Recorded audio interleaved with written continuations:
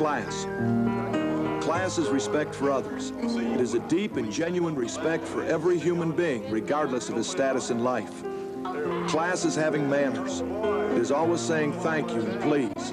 It is complimenting people for any and every task that was well done. Class is treating every other person as you want them to treat you in a similar situation. As a college football player, there's a, a, certain obligation, I think, because I remember when I was a little kid, uh, you know, I just admired football players in high school and college, you know, so much, and I looked to them, you know, to model my, myself, and I think sometimes we forget once you get there, you know, you, I think all of us realize that we have a responsibility, and, uh, you know, especially these kids who are sick, not just kids in general, but kids that are sick, you know, they need something to spark up their day, and, you know, I think everybody does, especially these kids, so it's, you know, I, we're getting more out of this thing, I think, than those little kids are, and it's a, it's a good feeling for us. I hope we're parking their day up a little bit. Class never makes excuses for one's own shortcomings, but it always helps the other person to bounce back from their mistakes.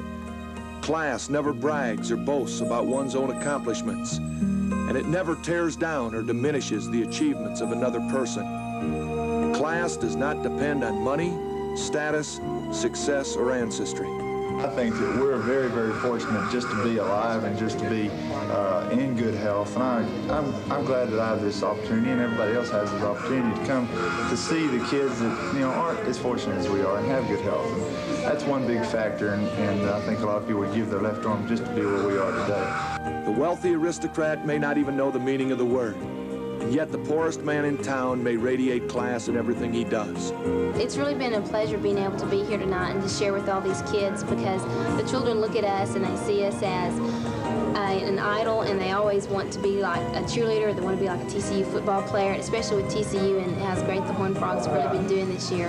And it makes them be proud that they have people that come and that care about them and that love them and I think it means just as much to us when we can see that smile on their face and we know that they've got the love in their heart and we have the love in our hearts to give to them. And it just really makes all of us feel good that we can share part of the pride, and part of the spirit that's going around the TCU campus, and we can bring it to part of the Fort Worth community and share it here with the children at this hospital and let them know that they're cared for and that they're loved. If you have class, everyone will know it and you will have self-respect.